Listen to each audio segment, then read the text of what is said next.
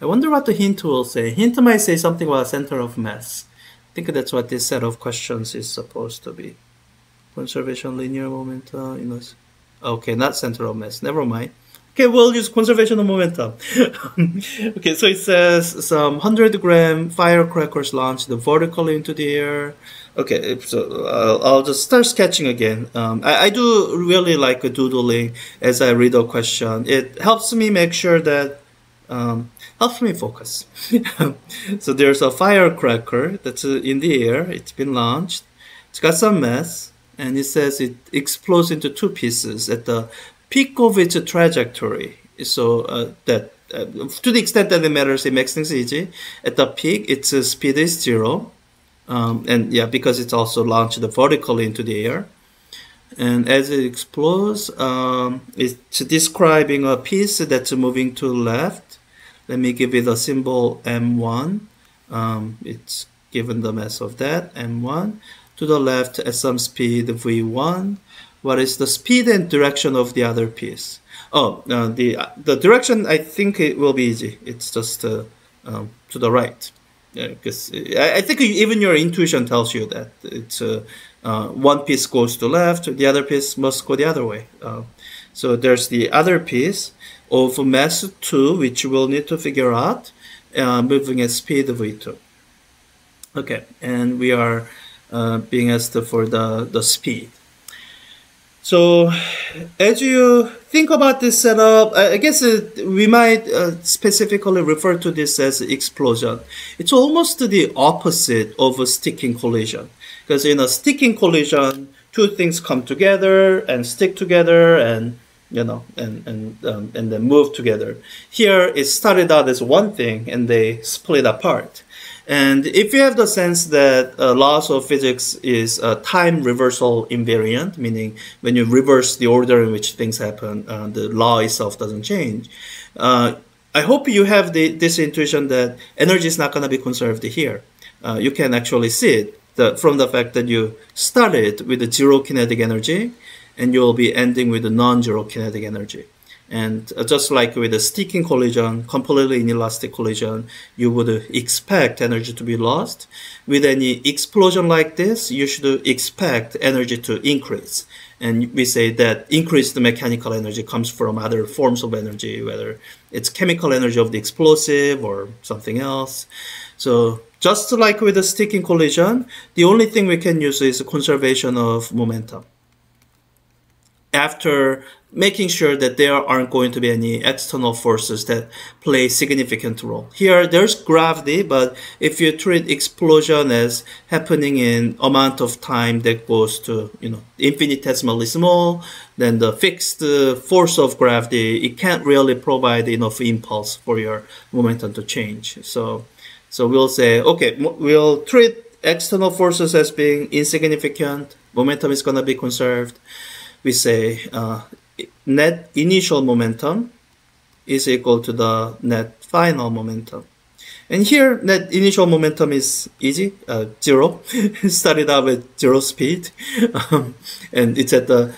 So I guess we only need to worry about horizontal motion really. But if you were worried about vertical motion, then the way to set up at the uh, at the peak of the trajectory, vertical velocity is also zero and that, that zero momentum is going to be a result of uh, two momenta. And here, let me depart a little bit from my typical practice and write the quantities v1 and v2 as vector quantities, meaning I'm going to write the sum of final momenta this way, m1 times v1 plus m2 times v2. Even though I know v1 is going to left, I'm not going to indicate that in my equation.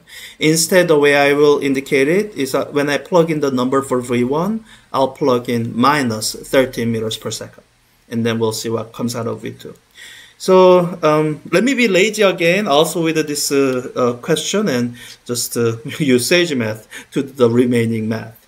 Um, once I'm uh, once I'm at this point, I can see that I have one equation and one unknown. So I can actually, um, sorry, that's a little bit too quick. Technically, if I'm being really careful, I do have two unknowns. So let me write down this system of equations by writing down m1 plus m2 is equal to m. Many of you might do this math in your head and realize, oh, m2 is 55 grams perfectly fine. Let me just uh, um, do it this way so that it's a more formal process where you formally indicate uh, where your information comes from. So uh, my variables are going to be m1, m2, m, v1, and v2. Uh, and let me say my equation 1 is 0 is equal to m1 times v1 plus m2 times v2. Uh, and equation 2 is uh, m1 plus m2 is equal to m and print equations 1 and 2 so that I can verify that they look right. 0 is equal to that, that, okay, all looks good.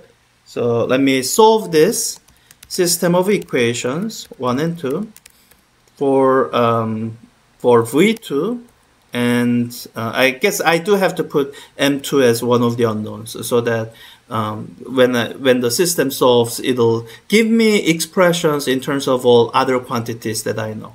M2 is the only thing that's not given in the question explicitly.